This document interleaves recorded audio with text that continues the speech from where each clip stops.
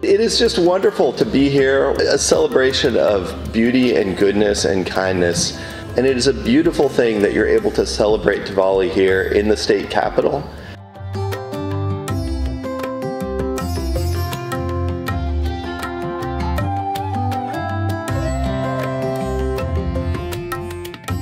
Everything symbolizes one thing, which is light over darkness, and good over evil, and knowledge over ignorance.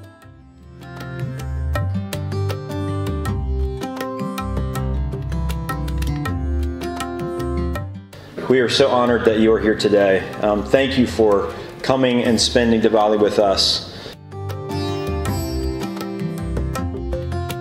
I hope and I pray that you continue to prosper in this community and do great things and make us and make America better.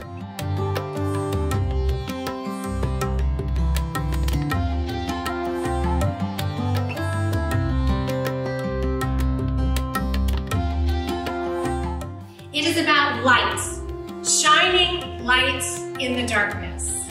We are seeing a burgeoning generation committed to promoting a value shift that centers love, service, and respect.